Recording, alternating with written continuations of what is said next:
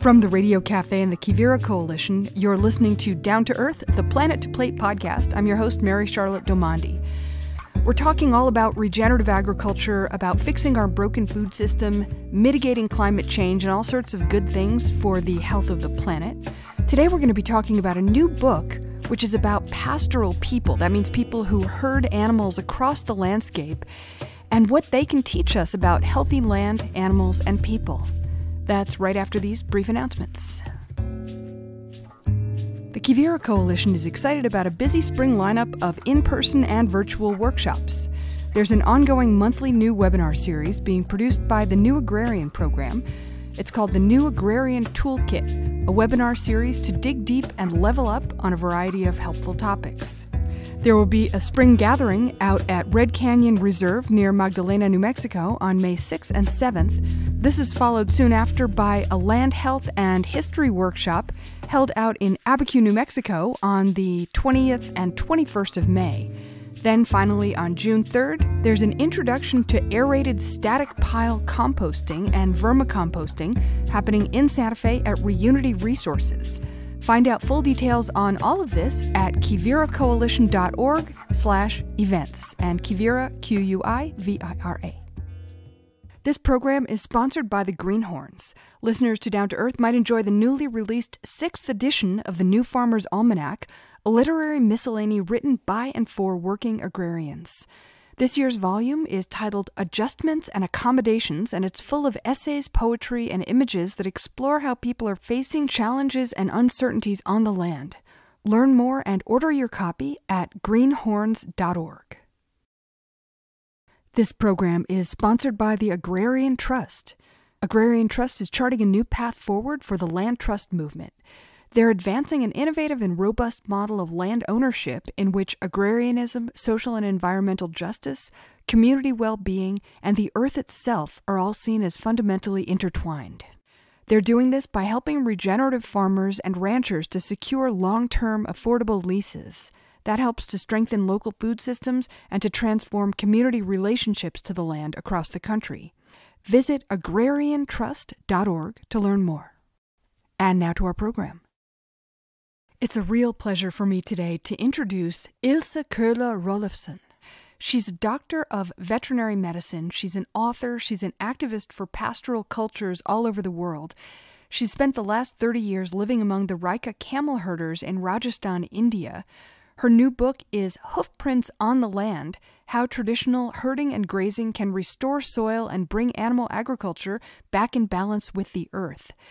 And this book is published by Chelsea Green Publishing. And if you go to chelseagreen.com, you can get a 35% discount for listening to this show if you use the code CGP35 at checkout. And I have to say, it is just a wonderful book. It's really a pleasure to read and, and so informative. So definitely check it out. Meanwhile, welcome Ilse, to Down to Earth.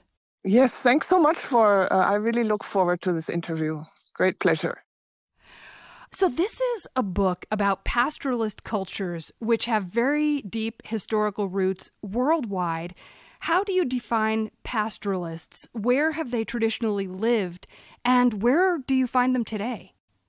So, there are actually many definitions for pastoralists, and nobody seems to agree. But we define them as people whose main income comes from keeping of livestock so they depend on livestock for the majority of the income and they keep them in mobile systems and they usually don't own the land that the animals graze on. And in addition, what I find very important part of the uh, definition is that they have a social relationship with their animals. So pastoralism actually is very widespread and Currently, most of the pastoralists live in Africa and in Asia, but pastoralism was also very important in Europe, and it still is in parts of Eastern Europe and in places like Romania and places like Spain. So it's actually it's a global phenomenon that hasn't gotten enough attention because our whole thinking, our worldview is determined by people who live who have sedentary lives or who are farmers basically Right. And even on the North American continent and where I live, here I live in New Mexico, and there were Navajo pastoralists. Yes, quite right. The, the Navajo are an example of a North American pastoralist.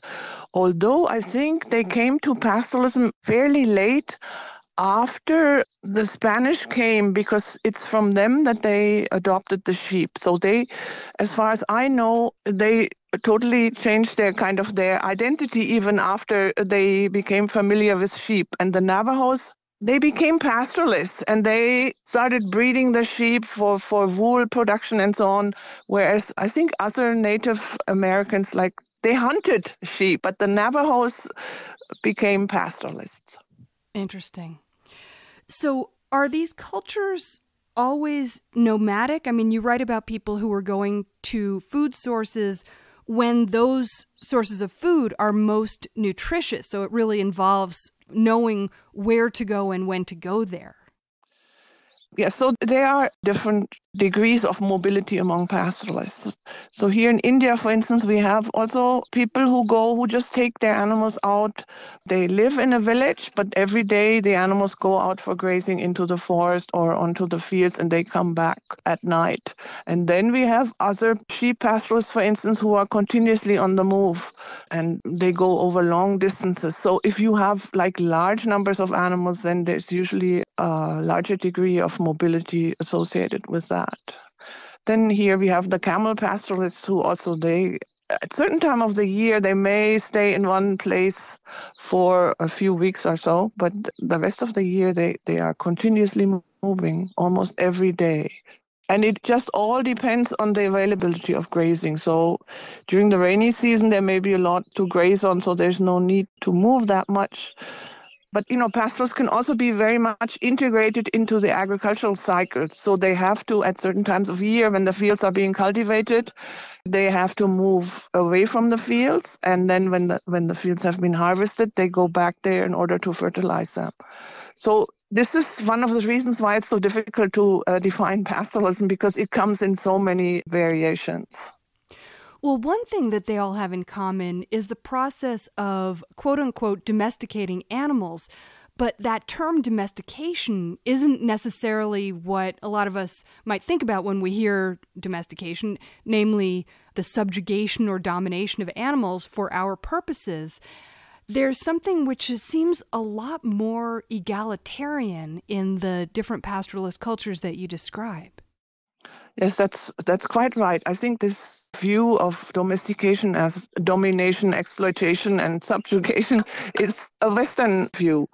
And in other cultures, for instance, in Central Asia, it's much more not just in Central Asia, actually, among most pastoralist cultures, the animals are looked at as on the same level. They're not below humans, they're on the same level, and it's a kind of an equal relationship where both partners in the relationship have to coordinate each other and communicate with each other. And pastorals are characteristic for them is the fact that they listen to their animals and the animals show them they communicate when they want to move or what they want to do and the pastorals normally they comply with that so it's a totally different way of looking at animals not as our objects, but as partners in life.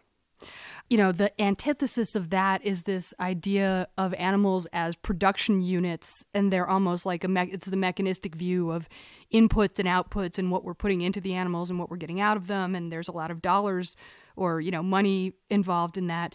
And it's not that that pastoralism isn't a way of life with its economic aspect, but I mean, you describe this very deep animal communication in both directions. I mean, people talking to and singing to their animals, to playing with them and being with them in a very physical way, in a very nurturing way when the, the animals are babies and people's children and, and the little animals all growing up together.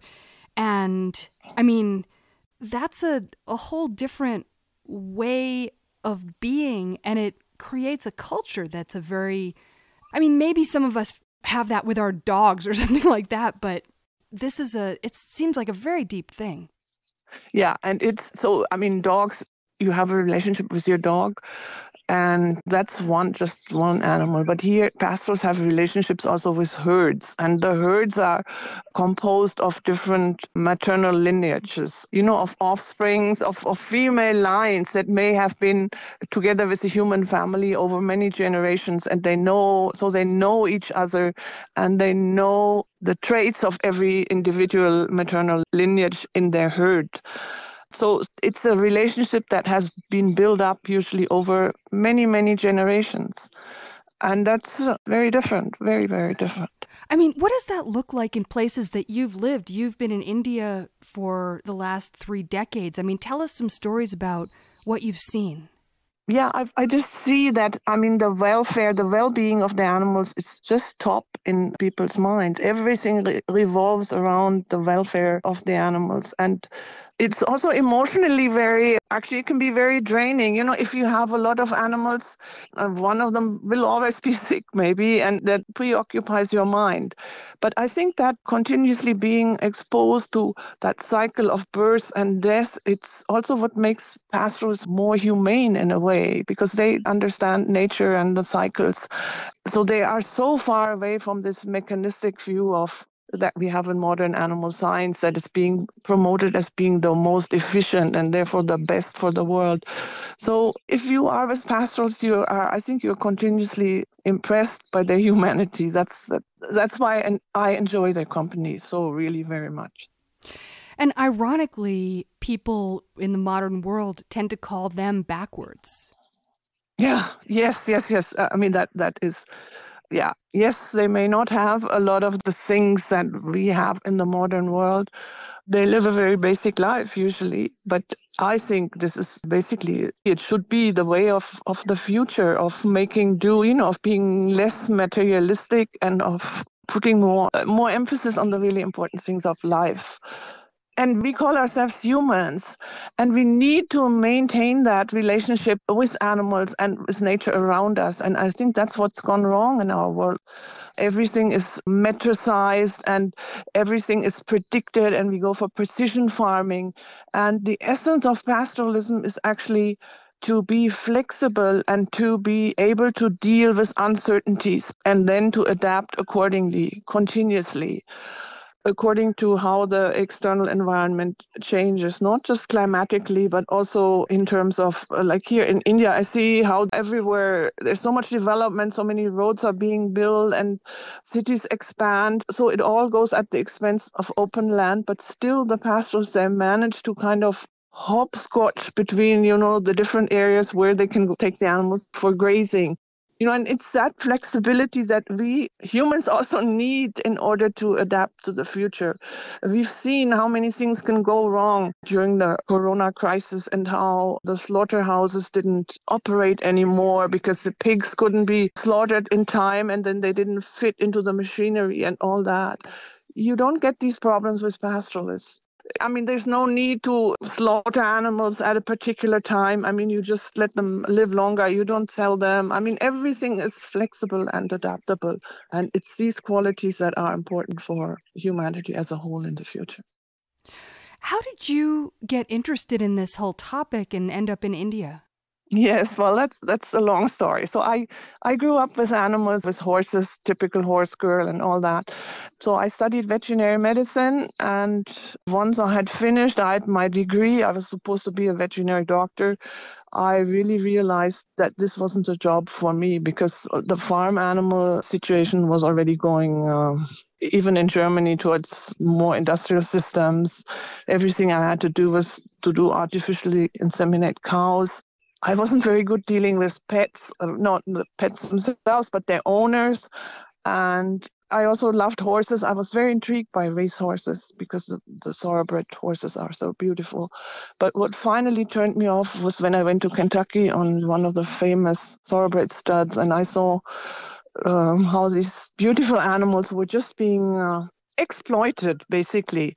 And you know, they were raised at a very young age at the age of two years, and then they were kept on painkillers and continued to race. And then uh, when they were two years old, they were already going to the knacker. So I just had a total identity crisis, and I I knew I had to do something different with my life. And I got interested in archaeology, and worked as an archaeozoologist on a site in Jordan. And that's where I fell in love with camels because there was a Bedouin camel herder passing by every day and he had this big herd of camels and he was singing to them and they were very obedient. And it was just such a it just struck me it was just harmony between people and animals. So i got really interested in camels and started researching about camel pastoral societies. I did my phd on camel domestication. And after like 10 years working as an archaeozoologist with just with the bones of dead animals that had been dug up by archaeologists i uh, wanted to work with living camels again, and I got a fellowship to India to study the local camel socioeconomic system. And that's where I got really engrossed. When I met the Raika for the first time, I just felt it just drew me in, and I was fascinated. So here I am 30 years later, and I've seen this culture actually, this amazing culture unravel on, on most levels, really. When I first came, almost all the Raika were having herds and uh, looking after livestock, and now only small proportion of them are. Most of the young people work in the cities, and so a lot of knowledge has also disappeared. But we are here locally trying to revive camel herding by having set up a dairy for camel milk and we promote the concept of cruelty free and of compassionate milk. And that's led to a local revival in uh, in camel keeping absolutely yeah.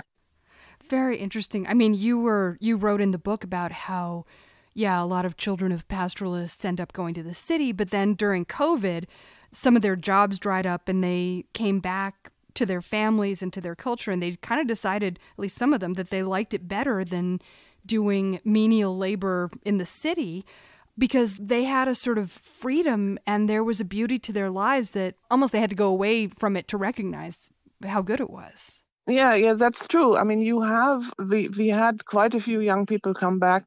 There's also a system in the community that if somebody wants to start a flock of sheep again, then all the relatives they share a few animals and then you can build up your herd your own herd again. So so that happened. And yeah i talked to several of these young people and they like it because they're their own boss. Nobody's telling them what to do. Whereas when they work in the cities they have to work you know like 18 hours a day under very horrid circumstances. And here out in the rural areas it's much healthier to live and also, there's actually good money to be made if you keep sheep and goat because the, the meat prices are high. So, so there are a lot of advantages to the pastoralist way of life. That the, the problem that people see is that it's not respected, that it's just not giving uh, being given respect and it's also it's because of the land issues uh, the grazing land disappearing the forest being closed off so it's a lot of hassle to continuously find uh, grazing for your flocks you're listening to Down to Earth. We have a little announcement. We'll be right back. The Quivira Coalition is excited to partner with the upcoming Old Salt Festival on the Mannix Ranch near Helmville, Montana. Join us in the beautiful Blackfoot Valley from June 23rd to 25th to celebrate ranching, wild landscapes, and the relationship between agriculture and conservation. Over three days and two nights of camping, we will enjoy incredible food, 14 bands, and a speaker lineup that includes David James Duncan, Debra Magpie Earling, and Ed Roberson, who's been on Down to Earth. He's the host of the Mountain and Prairie podcast. Learn more and get your tickets at oldsaltcoop.com. And co op has a hyphen in it, oldsaltcoop.com. And now back to our program. Let's talk about the land a little bit. The kind of land that pastoralists graze their animals on is land that basically is not suitable for growing crops, you know, grassland, rangeland, shrublands, things like that. These are lands that are often overlooked or left out of discussions on climate change where you hear a lot of people saying, oh, we have to eat plant based diets, but these are lands which constitute a, a, very large part of the terrestrial mass on our planet that are suitable for animals. Talk about that. Yes, I mean this this comment is always made, you hear that all the time by people like George Monbiot that livestock take up too much land. But that's not the fault of the livestock. The reality is the fact that two thirds of the world's agricultural land can actually not be used for growing crops. It can only be used for food production by means of livestock. And this land where you can produce food even though crops cannot be grown, that, that includes a lot of different types of ecosystems. And it starts with the, the Arctic area, northern Russia and, and Siberia, where you can only keep reindeer who can actually, even if the land is covered in snow, they can dig out the, the lichens between the snow. And so even up there uh, where nothing really can grow, you can produce food by means of reindeer. Then, if you move further south, you come to the the Gobi Desert. That's where you have two humped uh, Bactrian camels, and then further south there's the Himalayas, where you can produce food by with yaks, who are adapted to high altitudes. Then in India and in Pakistan, in over South Asia, buffaloes are really important. Water buffaloes are an important source of food. Sheep, goat, and cattle, we have everywhere in the world. We have the one humped camel that's in the what's called the Old World Arid Zone Belt, stretching from Mauritania to here, the western part of India. And then in South America, in the Andes, we have the New World camelids, the llama and the alpaca. But that's not it. I mean, there's also in parts of China and in parts of uh, India, there's pig pastoralism where pigs are grazed or herded over uh, harvested fields and they suck up the rice kernels that uh, escape the harvest. And in South India, we even have duck pastoralism, where people take yeah, like huge, um, I don't know what they call it, flocks of ducks, uh, mm-hmm. also over longer distances. There's one culture you wrote about that actually worships wolves, even as the wolves are eating their animals. Yes, that's right. Uh, that's here on the, what's called the Deccan Plateau in central India. Uh, there's the Kuba uh, is one group, and another group is called Dhangar, and yeah, they are sheep pastoralists, and they do worship the wolf, and they appreciate the wolf because it eliminates the sick animals from their flocks so they, they think the wolves keep the sheep flocks healthy you know that's that's their way of thinking. And they, yes they do. They even they bury wolves and they make little monuments and temples for them. So this is again i mean this is another aspect of how pastorals relate to their surroundings and to wildlife. And here where i live leopards there are a lot of leopards here and they regularly eat little sheep not just little sheep. I mean, they love goats, and they've also recently started to actually attack some uh, some baby camels. But the Raika, they accept that. They they say, I mean, the leopard also has to eat. Or they say things like the leopard got it in writing from God that he can sometimes eat some of our animals. So there's this acceptance of all animals being part of the world. Yeah, and and I mean it fits into this whole idea of agriculture, pastoralism, and sometimes ranching, as we will talk about, as a kind of biomimicry. In other words, looking at the way the natural world works and doing something pretty close to that.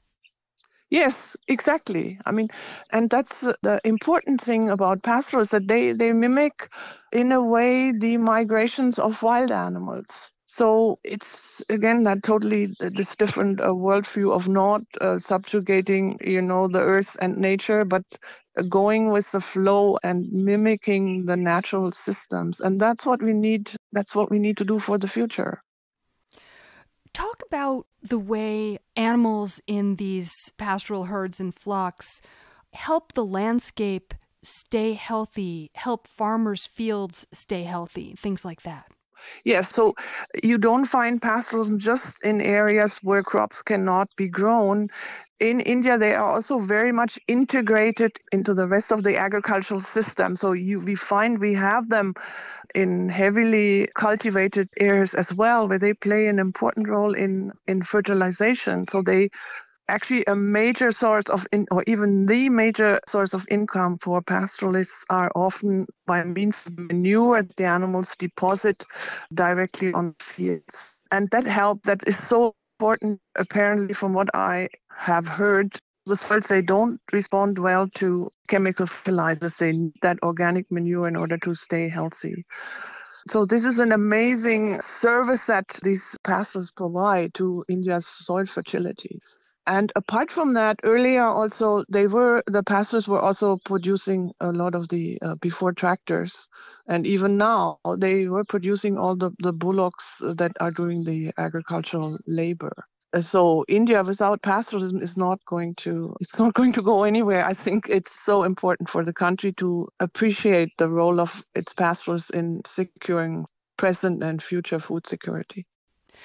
Another example that I thought was so interesting was there's this thistle that farmers hate that interferes with their growing their crops and the camels love it and so the farmers are happy when the camels eat the thistles and then the camels when they eat the thistles produce the sweetest milk Yes, that's that's right. Yeah, there is this. It's called the Indian globe thistle. It's a big thistle that I mean it grows about a meter high, and it grows uh, when the fields are lying fallow between a harvest and it's very bad obviously for the farmers and the camels they just love that sizzle. And they go in there and they clear it out and they transform it into as you said the really sweet milk and at the same time they're also manuring the fields so it's just a quadruple win situation for everybody for the farmer for the camels for the camel herder and also for the people who then drink that really healthy milk because the thistle is also known for its medicinal properties. So i'm pretty sure even though we don't have the the lab results or medical studies to prove it but i think that milk that's produced from camels eating those thistles i think it does wonders for a lot of afflictions and we do use our camel milk here is locally uh, very much in demand for treating a number of diseases. So it's internationally camel milk is promoted for autistic children where it and it helps. I think it, it it's not a cure for autism obviously, but it uh, makes the children calmer and they establish eye contact and they sleep better and sometimes they even improve their verbal uh, qualities. So that's what i mean the, the global interest in camel milk relates to its positive effects in many cases for autistic children it also is uh, scientifically proven to be very good for diabetes patients because it, it lowers the blood sugar level. Again, it's not a cure, but it definitely makes a difference. But we've also seen here locally people with tuberculosis uh, who were given up by doctors after drinking camel milk for you know for several months. They're they're like back to normal and can do agricultural work again. For children with asthma, and autoimmune diseases uh, and even cancer. I mean, we have a lot of anecdotal evidence about the positive effects of camel milk. We don't have any uh, clinical or uh, double blind studies or anything because nobody's taking an interest in doing those. Uh, but there is definitely something there. And I, I think through camel milk or through the milk in general produced in pastoral systems, you get nutrients in your diet that you don't get anymore in the processed food that most people take. So uh, we always just when we look at, at diets, we look you know and and what's described on the back of the package is protein and fat and calories, but there is so much more to food. There are these phytochemicals which are uh, very important for maintaining your health, which are uh, up to now, I think they're ignored and they maybe haven't been fully explored yet, but they are uh, more than a thousand ph- phytochemicals have been identified and they uh, they are also necessary for human diets. And if you don't get them in your diet you don't feel satisfied and you uh, you don't feel full basically and you keep on eating. Whereas if you eat food with that are rich in phytochemicals you you become full very fast yeah, the idea of empty calories. Empty, exactly, empty calories. Yeah, right. And there's that amazing research going on by a professor in, in the USA, I think in Utah, uh, Dr. Stephen Van Vliet, who compared the composition of beef produced on a ranch in a really biodiverse system with that produced in feedlots. And he says that the beef, they're both beef, but they are uh, totally different substances like apples and oranges almost uh, in terms of their composition. Yeah. Well, I can attest to that. if I eat uh, factory beef, I don't feel well. And if I eat regeneratively produced beef, it's fine. So, and there's, I think a lot of yeah. people are experiencing that just in their own lives. Let's talk about the the lives of pastoralists today. I mean, there's a lot of conflict between, as you say, between pastoralists and the modern world for a lot of reasons. And one of them is, I mean, you you said at the beginning they graze on land that's not theirs, common land. Well, there's so much privatization and so many more roads being built and corporatization of land. So there's just land, less land for them to use. Tell us about the challenges that they're facing in India and in other places. So India has a lot of forests, and traditionally the pastors also graze their animals in the forests and they had they had grazing rights in the forest under the uh, Maharajas before the British came in, and then uh, when the British colonized India. They, of course, they wanted, for one thing, they wanted taxes. So, and the mobile people couldn't be taxed because they didn't own any land. So they tried to stop people from migrating and uh, sedentarize them. And they declared many of the pastoralists criminal tribes, even.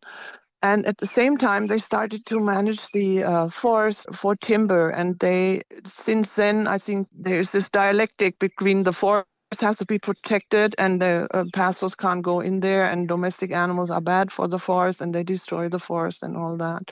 So this tussle is going on, has been going on here since ages, and it's uh, very difficult to see how it can be resolved. Even though a lot of the, you know, I mentioned earlier that there are a lot of buffalo cultures in India, and they are forest-based.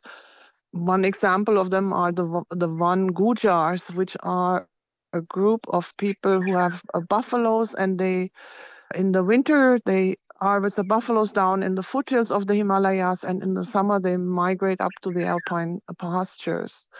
And they have had a lot of problems also with trying to be kicked out uh, from the forest, even though they know how to. In, in their area, there there are a lot of tigers there, and these Van Gujars they they can even cope and get along uh, with tigers in the same territory. But in some all over India, the forest pastoralism issue is a, is a huge one, and it's one that's predominant in the minds of pastors. They want to have access to the forest.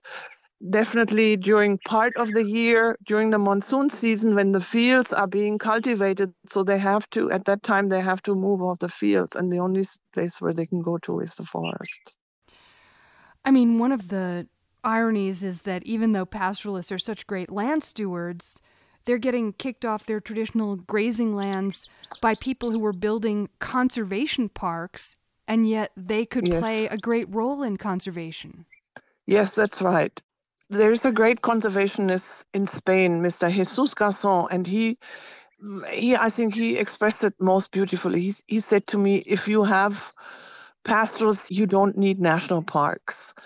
And Unfortunately, that is the case. That because pastors they don't till the soil, they don't use chemicals, so their areas.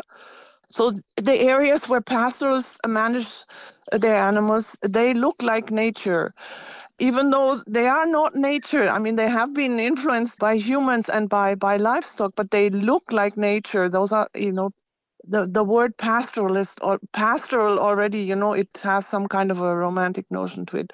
So the areas managed by pastors are the few areas in the world where, you know, that really look like nature. So then they become attractive for conservationists and they decide to put up a national park and then they kick out the pastoralists. I mean, this is a phenomenon all over the world, unfortunately. That has to change so urgently at the last conference of the parties to the United Nations Convention on Biological Diversity at the end of last year, a decision was made that by 2030, 30% of the land of, uh, of the terrestrial land should be devoted to nature conservation and should be left to nature. And that would be okay if that land could be continued to manage by pastoralists and other indigenous peoples then that would be fine. I mean, that, that, that would be great if that land would be left alone and, uh, you know, no further, no damaging development would take place. But that's probably not what's going to happen. There's conservationists coming in there and then maybe kicking out the pastorals and so on. So it's a very dangerous situation.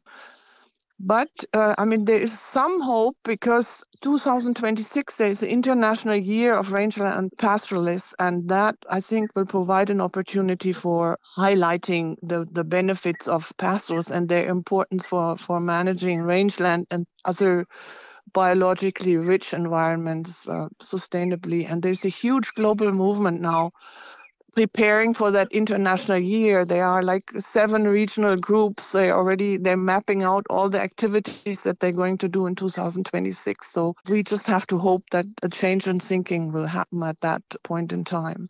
Well and that's part of why you wrote this book is to make this whole world of pastoralists available to listeners to, to this show and to readers like us Yes, because I mean you have the you know the, there's this big movement for regenerative grazing, which is regarded as progressive. And basically, that movement, that regenerative grazing, they are adopting the same principles as pastors have been practicing for thousands of years. So they have, uh, you know, one of their methods is what is called adaptive multi-paddock grazing, which means you divide uh, a certain area into little pieces and which are fenced in by electrical fences, and then you move your animals uh, maybe daily from one small place to the next and the next and the next. And pastors they don't have electrical fencing or anything. They just keep moving. They hurt the animals, and that may actually that's probably even better than this adaptive multi-paddock grazing, I would think. So there are so many similarities, I think, between regenerative graziers and the traditional pastorals, and they need to join together to create a really strong movement and make the world realize uh, how important moving animals are for the future of the planet. You've been to conferences where grazers and pastoralists from all over the world get together.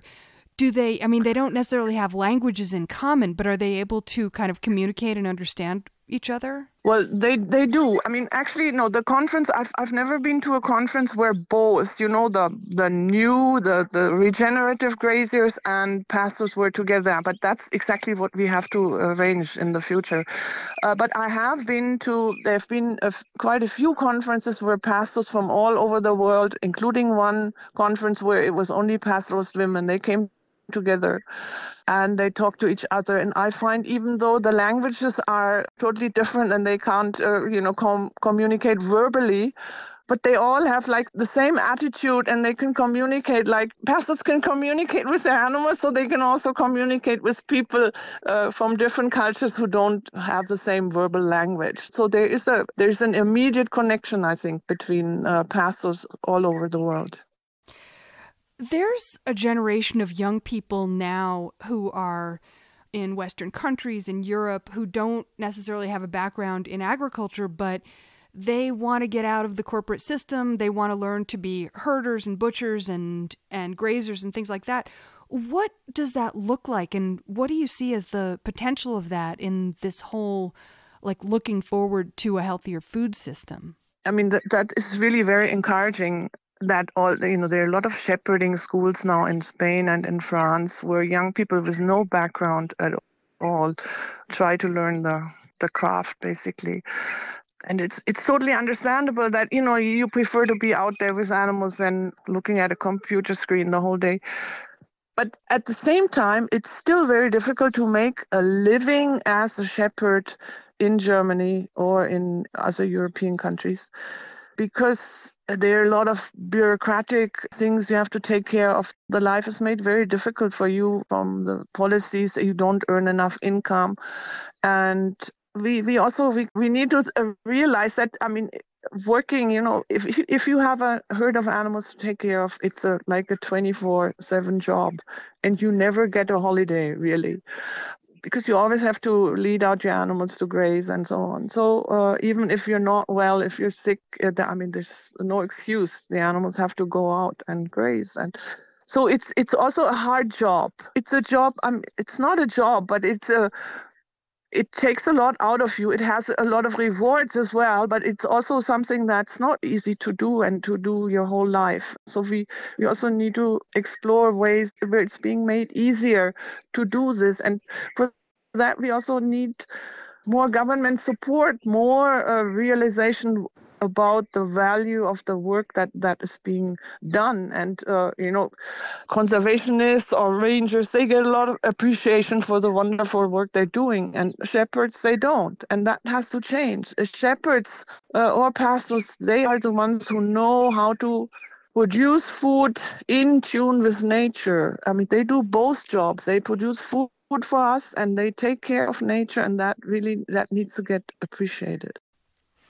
I forget exactly how you put it in the book, but it was something like pastoralism is the most efficient way to take carbon from above the ground and to sequester it below the ground and at the same time produce very healthy meat and dairy. That's quite right. I mean, that's exactly that's another important point uh, of the relevance of pastoralism to the whole climate scenario bo- both. I mean pastoralism by grazing you we can uh, sequester carbon uh, below the ground. And at the same time, it's also so, so, I mean, if you talk climate, there's always climate adaptation and there's climate mitigation. And so, climate adaptation, in terms of climate adaptation, pastorals are brilliant because their animals they, they can take the heat and i mean they're i think they're better suited than anybody else to cope with climate change and at the same time they can also mitigate climate change by sequestering carbon under the ground. Now, this is this is a very this is still a very contentious uh, debate because I mean there's problems of metricizing how much carbon is actually being sequestered, and there are big financial interests in that as well. So you know land is being bought up to use it for carbon sequestration, etc., etc. So I mean, it's it's a very tricky issue, but it seems to be that through appropriate and skilled grazing, you can actually sequester much more carbon under the ground than by by any other uh, method. Yeah. I mean, this is a big, it's a huge issue where there's a lot of potential, but I also I see the huge danger of this totally becoming, you know, going into the hands of again some big uh, corporate guys. And um, there is, for instance, there is a project in northern Kenya uh, by the Northern Range. I think it's called the Northern Rangeland Trust or so, where it's an organization that is giving carbon credits to big companies so they can continue to pollute uh, the environment and and uh, generate uh, greenhouse gases and in turn so and this organization has is working with pastoralists to sequester more carbon and they have adapted i think told the pastoralists to to graze their animals in a certain way to sequester more carbon etc and it, apparently it's it is a big scam as well, and uh, the pastorals have been negatively affected. So, uh, I mean, this this is a big thing that we need to really watch out for and see what happens. Well, and it it plays into the whole problem of what's genuinely workable for a very sick and endangered planet that we're living on right now and what is, you know, what's just false. I mean, we have in the United States this crazy system where this very fertile land of the Midwestern prairie is used to grow grains to feed livestock. And as you wrote in your book, there's more protein in their animal feed that goes into an animal than comes out in their meat. So that's like a, a crazy negative input output. Yeah, that's totally crazy. And that that so interestingly enough, I mean there are statistics on this provided by the Food and Agriculture Organization, and they show that in countries with large pastoralist populations, like Kenya and Ethiopia, livestock produces like 20 ta- up to 20 times as much protein as it consumes because the livestock only eats like this really shrubby stuff, uh, high fiber content, natural vegetation. And in the US, uh, livestock actually, I think it consumes twice as much protein as it actually produces in the end. So it's it's a totally nonsensical system. And in addition to that, you have um, very high transportation costs, and you have fossil fuel based fertilizers and you have all the runoff from that which is polluting the rivers and the oceans and so and and yet that is touted as efficiency yes Exactly. So this is the thing. The paradigm in in the conventional animal science is uh, natural resource use efficiency, but I'm getting more and more the feeling it's not really properly defined at all. I mean, so basically it is how much feed you put into the animal and how much food in milk or in meat you get out of it. So that's a basic calculation. And if you just look at that, then the industrial systems are more uh, productive or more efficient. But that way of thinking, it ignores all the negative externalities that are that are associated with it. Uh, I mean, the, the animal welfare issues, the pollution, the uh, the the fossil fuel use and all that. So it's definitely not a holistic approach. And that really needs to be recognized by the animal science community. And it's again, I mean, it's the big corporates who keep saying that our systems are the most efficient. And scientists have kind of fallen in line with that. So they, in effect, promote those industrial systems and that really that's what upsets me with the animal scientific world. Uh, so there are also uh, people who you know who work on rangelands they have a much more holistic perspective but the the, the narrow animal science they just uh, i mean they are responsible for i think for the dire situation in many ways by having such a reductionist approach. Is there anything that, for example, our listeners or people who are reading your book can do? Like, what would, if somebody says, well, you know, I want to take action, what, I want to help pastoral people around the world, I want to encourage regenerative grazing here, what can they do? So I think one of the most important uh, ways of doing is to source your food from uh, such systems. So so many young people are going vegan uh, because they they think it's not ethical to eat livestock products. And uh, it's true. I mean if you eat livestock products from industrial systems then uh, yeah one should avoid that as much as possible. But it's a different thing if you buy the products from animals that are uh, ethically kept and in tune with the environment and that have a good life then that's totally different. If people are vegan that's that's absolutely fine. But I, I think nobody has to be because we are consuming too many livestock products on a global basis. But it's absolutely fine to also consume products from ethical livestock systems. And that's an important way of supporting that those systems because we also have to realize i mean we can't just grow plants natural systems are composed of plants and animals and our farming system has to mimic those natural ecosystems of which animals are a part. So we can't take livestock out of the farming equation. It's absolutely impossible.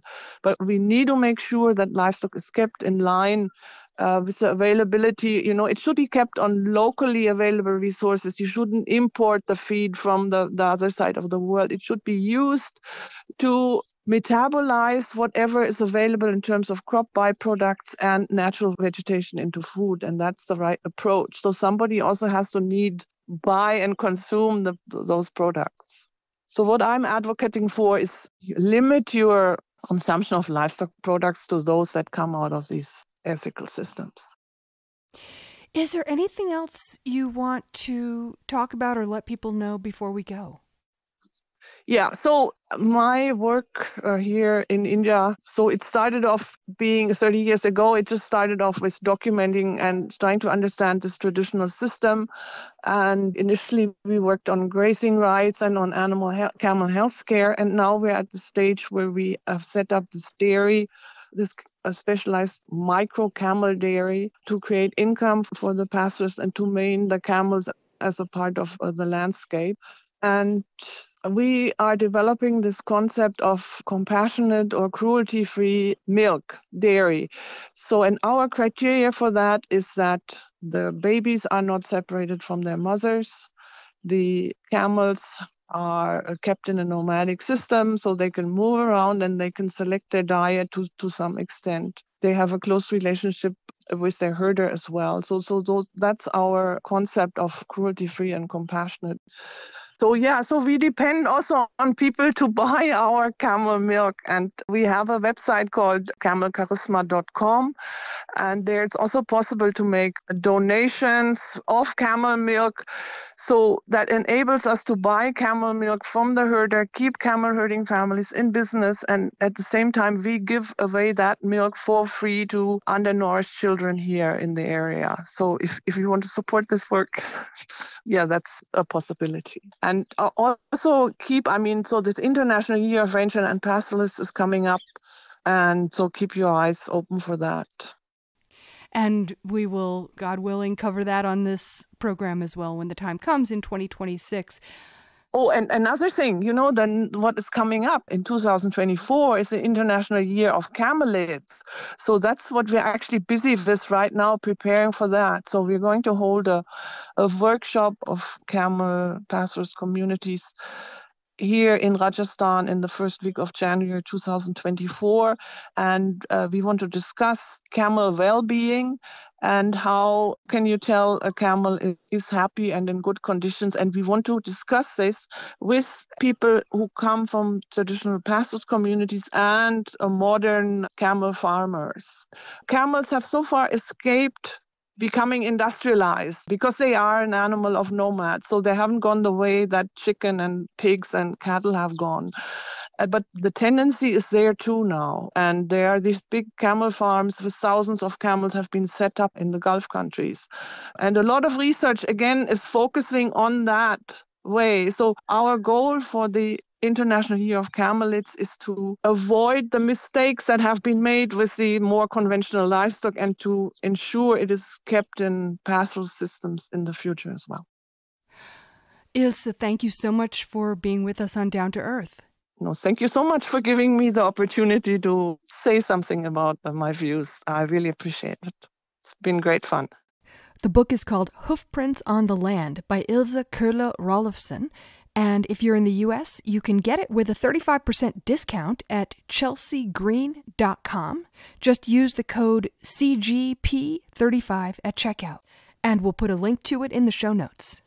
And to find out more about Ilse's work with the camels, you can go to camelcharisma.com. You've been listening to Down to Earth. We would love it if you would support this program, which you can do by going to patreon.com slash down to earth planet to plate, where you can sign up for as little as $3. Patreon is P-A-T-R-E-O-N. And also please rate and review the podcast on Apple Podcasts or wherever you get your podcasts. The Quivira Coalition is a not for profit and a community network of ranchers, farmers, conservationists, scientists, educators, and many others dedicated to regenerative practices that produce healthy food, support meaningful livelihoods, sustain biodiversity, and remedy the impacts of climate change. To learn more about Quivira and how you can support their work, visit quiviracoalition.org, Q U I V I R A. And finally, this show is a production with the Radio Cafe. You can check out radiocafe.org to hear back episodes of this show and also find all kinds of other shows on a wide variety of topics as well. Thanks for listening, and we'll see you next time.